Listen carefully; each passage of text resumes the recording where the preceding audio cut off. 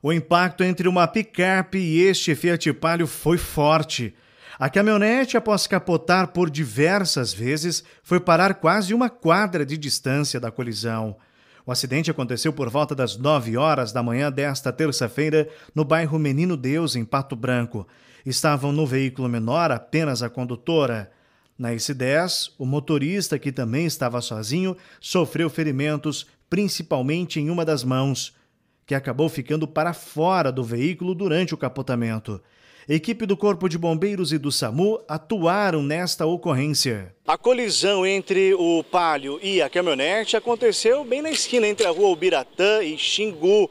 O local, aliás, comentado por moradores próximos, vários relatos dizem que oferece grande perigo pela preferencial, às vezes, não ser percebida pelos motoristas e acabar cortando a preferencial de outros. A colisão, como disse, aconteceu aqui. Inicialmente, a, a caminhonete que capotou por várias vezes bateu nesta árvore que está aqui próximo e foi parar lá embaixo.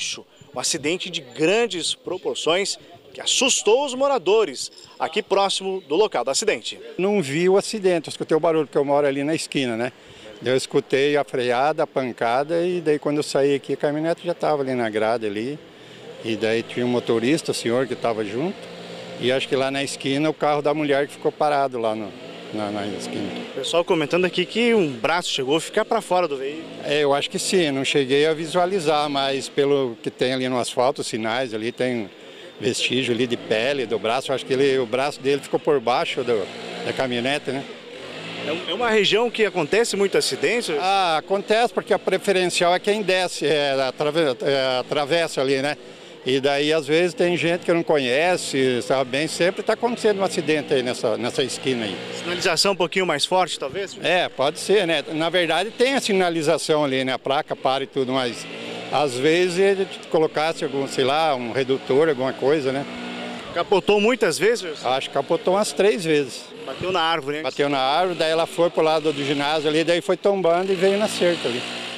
Nós levamos a reivindicação da população ao Departamento de Trânsito de Pato Branco. Este cruzamento ele é devidamente sinalizado, demonstrando a preferencial na rua Xingu. Evidentemente que eh, se vislumbra, neste caso, uma conduta é, infracional por parte do condutor, ou excesso de velocidade, ou desatenção, em vista de que a sinalização é visível né, ao condutor que trafega e que verifica a questão da parada obrigatória por conta da preferencial. Evidente que infrações acontecem frequentemente, inclusive com risco de acidentes. O Departamento de Trânsito está atento a essa situação, é, direcionando seus esforços no sentido de coibir o cometimento de infração, especialmente aquelas que contribuem é, para o aumento da possibilidade de acidentes. Mesmo sinalizado com placas, algo pode ser feito, algum redutor de velocidade, uma sinalização. Algo, alguma coisa deve ser estudada para isso, neste caso específico, diretor?